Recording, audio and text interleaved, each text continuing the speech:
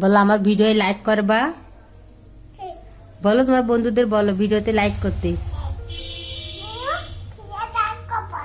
মুখ উঁচু করে বলো।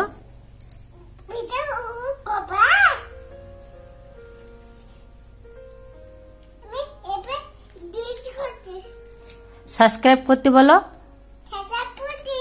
মুখে তাকিয়ে বলো।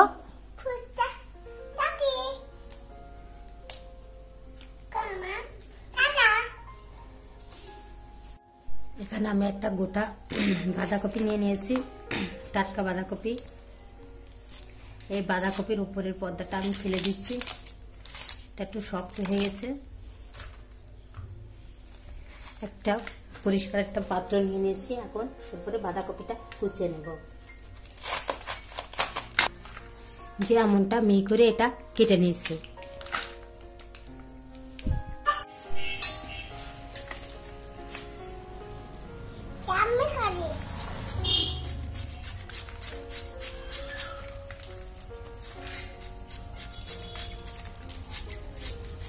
যতটা সম্ভব কুচি করে এটা কেটে নেবে। এটা আমার মেয়ে। আমি যখন রান্না বান্না করি, তখন সেও আমার সাথে থাকে। একটু দুষ্টুমি করে। আমি যেমন ভাবে কথা বলিস তেমন ভাবে সে কথা বলার চেষ্টা করে। হ্যাঁ কাটো। দেখুন, আমি এখন বাঁধাকপি কাটছি, ও বাঁধাকপি কাটছে। সবাইকে বাই বলো। জিজ্ঞাসা করো, সবাই কেমন আছে? বলো বলো বলো, সবাই কেমন আছে জিজ্ঞাসা করো। তুমি জিজ্ঞাসা করো, তোমার বন্ধুদের কাছে সবাই কেমন আছে? খুব ভালো মনি আমার সাথে কাজ করার সময় দুষ্টুমি করে না।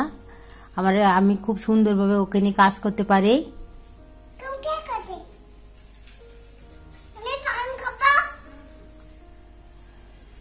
খুব পাকা পাকা কথা বলে ও। পান খাবা। কেন? সবটা বাঁধাকপি আমি এমন ভাবে কুচি করে কেটে নিয়েছি। দেখেন এতটা মিহি করে এটা কেটে নিয়েছি আমি। আপনারা আপনাদের পছন্দ অনুযায়ী সাইজ অনুযায়ী কেটে নেবেন কিন্তু বাঁধাকপিটা যত ছোট করে কুচি কুচি করে কাটবে ততই এর টেস্টটা সুন্দর হবে আর খেতেও দারুণ লাগবে। তা এমন ভাবে কুচি করে কেটে নেবেন আপনারাও। এখন এটা আমি অন্যটা পাত্রে উঠে নিয়ে পরিষ্কার করে ধুয়ে নেব। লাগবে আমার আলু। আমি এখানে একটা আলু নিয়েছি আপনারা চাইলে আরও বেশি আলু নিতে পারেন। আপনাদের যতটা বাঁধাকপি সেই বাঁধাকপির পরিমাণ অনুযায়ী আপনারা আমি এমন সাইজ করে আলুগুলো কেটে নিয়েছি আপনারা আপনাদের পছন্দ সাইজ অনুযায়ী আলুগুলো কেটে নেবেন। চুলার উপর একটা কড়াই বসে দিয়েছি এখন কিছুটা পানি দিয়ে দিলাম। যে বাঁধাকপি আমি এই পাত্রে উঠে নিয়েছিলাম, খুব সুন্দর করে পরিষ্কার করে বাঁধাকপিটা ধুয়ে নিয়েছি। এখন এর ভিতরে ভাপাতে দিয়ে দেব। বাঁধাকপিটা আমি ভালো করে ভাপিয়ে নেব। তাহলে বাঁধাকপির যে একটা বাজে স্মেল থাকে, সেটা চলে যাবে এবং বাঁধাকপি সিদ্ধ করে নিলে, রান্না করলে খেতে খুব টেস্টি হয়। তাই আপনারা এমনভাবে সিদ্ধ করে নেবেন, তাহলে বাঁধাকপিটা নরম হয়ে যাবে এবং খেতেও টেস্টি হবে। যে আলুগুলো কেটে পরিষ্কার করে ধুয়ে নিয়েছি, সে আলুগুলো দিয়ে দিলাম। এক চামচের মতন লবণ দিয়ে দিলাম। এখন লবণ দিয়ে একটু নাড়া দিয়ে দিলাম।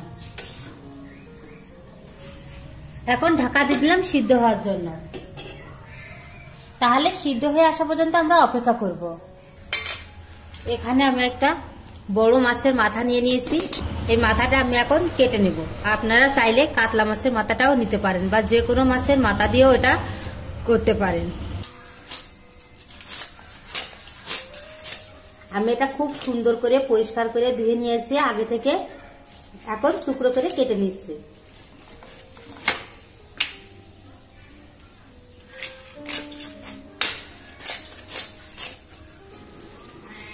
যে এমন টুকরো করে কেটে নিয়েছে, মাছগুলো আর একবার ধুয়ে নেব। আপনারা আপনাদের পছন্দ সাইজ অনুযায়ী মাছগুলো টুকরো করে কেটে নেবেন। এই রান্নায় লাগবে আমার পেঁয়াজ কুচি আর কাঁচামরিচ ফালি। যে এখানে প্রায় দশ বারোটা কাঁচামরিচ ফালি করে নিয়েছি, এখন পেঁয়াজগুলো কুচি করে নেব। যে কাঁচামরিচ আর চারটে পেঁয়াজ, বড় সাইজের পেঁয়াজ কুচি করে নিয়েছি। পাঁচ ছ মিনিট হয়ে গেছে, এখন দেখব বাঁধাকপিটা সিদ্ধ হলো কিনা। এই যে, বাঁধাকপির কালারটা চেঞ্জ হয়ে গেছে, আর যে বাজে স্মেলটা ছিল সেটাও বের হয়ে গেছে, আর দেখেন আলুটাও সিদ্ধ হয়ে গেছে। এখন আমি বাঁধাকপি থেকে পানিটা ঝরিয়ে নেব। এমন একটা ছাঁকনির ভিতরে এটা ঢেলে আমি পানিটা ঝরিয়ে নেব।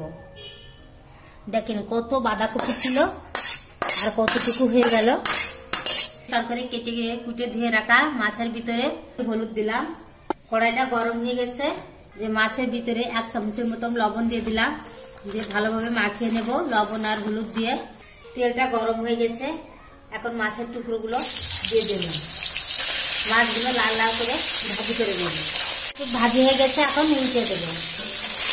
মাছগুলো লাল লাল করে ভাজি করে নিয়েছি। এখন উঠিয়ে নেব। হ্যাঁ। এখন কিছুটা সাদা তেল ঢেলে দেবো। চাইলে আপনারা সর্ষের তেলে রান্নাটা করতে পারেন। সর্ষের তেলে করলে রান্নাটা আরও বেশি টেস্টি হবে। তেলে একটু তেজপাতা দিয়ে দিলাম। একটা বড় এলাচ দিয়ে দিলাম। তিন দুটো ডালচিনি দিয়ে দিলাম।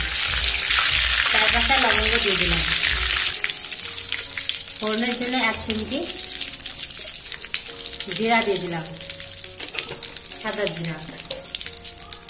ফোড়ন থেকে মিষ্টি গন্ধ চলে এসেছে। এখন আমি কেটে রাখা পেঁয়াজ কিছুটা দিয়ে দেবো। দুই তিন মিনিট মতন পেঁয়াজটা নাড়াচাড়া করে নিয়েছি। এখন কাঁচামরিচের ফালিগুলো দিয়ে দেবো। ঝাল আপনারা যেমন খেতে পছন্দ করেন, সেই অনুযায়ী ঝালটা দিয়ে দেবেন। পেঁয়াজ আর ঝালটার কালারটা চেঞ্জ হওয়া পর্যন্ত আমি তেলের ভিতরে নাড়াচাড়া করে নেব। যখন দেখবেন পেঁয়াজ আর কাঁচামরিচটা ভাজি করতে করতে সুন্দর একটা সুগান বের হয়েছে, তখন বাকি মশলাগুলো দিয়ে দিতে হবে। এভাবে যদি আপনারা একটা মশলা দেওয়ার সময় বা কতটুকু একটা মশলা দেওয়ার কতটুকু পর আরেকটা মশলা দিতে হয় সেটা যদি জানতে পারেন, তাহলে কিন্তু আপনাদের রান্নাটাও খুব সুস্বাদু হবে। মশলা থেকে সুন্দর একটা সুগ্রান বের হয়ে এসেছে। এখন আমি বাকি মশলাগুলো দিয়ে দেবো। চামচের মতো আদা পেস্ট আদাটা দিয়ে মশলাটা নাড়াচাড়া করে নিলাম। রসুন বাটা। জিরা বাটা এক চামচের মতো। ধনে গুঁড়া দিলাম এক চামচ। এখন এই মশলাটা ভালো করে কষিয়ে নেব। মশলাটা কষানোর জন্য সামান্য একটু পানি দিয়ে দিলাম। এখন দিয়ে দিলাম লাল মরিচের গুঁড়া। মশলাটা কষানো হয়ে গেছে। এখন ভাজি করে রাখা, খুব সুন্দর করে, লাল লাল করে ভাজি করে রাখা মাছের মাথার টুকরোগুলো দিয়ে দেব। মাথাগুলো মশলার সাথে ভালোভাবে কষিয়ে নেব। আর একটু টুকরো টুকরো করে ভেঙে দেব। মাথাগুলো কষানোর জন্য একটু পানি দিয়ে দিলাম।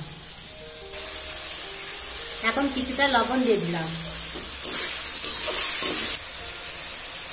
এক চামচের মতো হলুদ গুঁড়া দিয়ে দিলাম। দেখেন মাথাটা আমার কষানো হয়ে গেছে, মাথা থেকে তেল ছড়িয়ে এসেছে। এখন টুকরো করা বাঁধাকপিগুলো দিয়ে দেবো। ভালো করে ভাপিয়ে রাখা বাঁধাকপিটা দিয়ে দিলাম। এখন বাঁধাকপিটা দিয়ে এই মাছটা ভালো করে মাছের মাথার সাথে মিশিয়ে নিয়ে নাড়াচাড়া করে ভাজি করে নেব। এরপর নাড়াচাড়া করে করে এর বাঁধাকপির ভিতরে যে পানিটা আছে সেটা শুকিয়ে নেব। মশলার সাথে খুব ভালোভাবে মিশিয়ে নিয়েছি। এখন ঢাকা দিয়ে এটা ঢেকে দেব। ঢাকা দিয়ে ঢেকে দিলে কি হবে? এটা খুব ভালোভাবে কুক হয়ে যাবে আর খুব সুন্দরভাবে সিদ্ধ হয়ে যাবে। ঢাকা দেবো আমি দশ মিনিটের জন্য। আর প্রতি দু মিনিট অন্তর অন্তর এটা আমি নাড়াচাড়া করে দেবো, যাতে নিচে না লেগে যায়।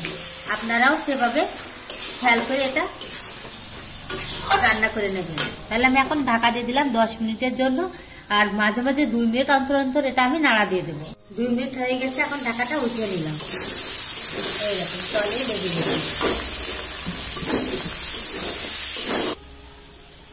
লবণ একটু কম আছে, তার জন্য লবণ দিয়ে দিলাম হাফ চামচের মতো।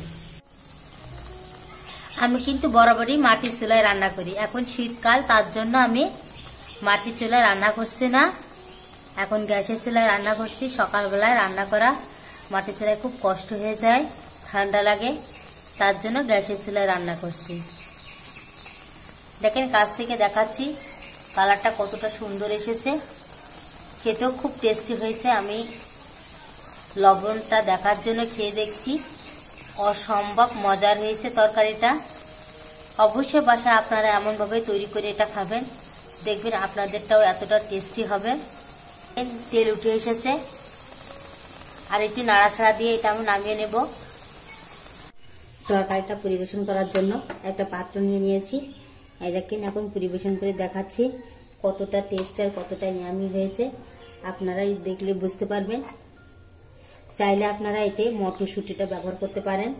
আর বাসা যদি না থাকে, না দিলেও চলবে। এমনিতেই খেতে সুস্বাদু হবে। অবশ্যই আপনারা একটা টমেটো দেবেন। আমি এতে টমেটো দিয়েছি, কিন্তু এটা অফ ক্যামেরায় হয়ে গেছে, আপনাদের দেখাতে পারিনি।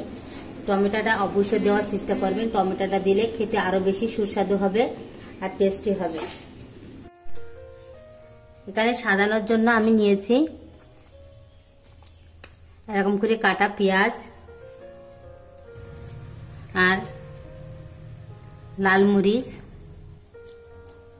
লেবু।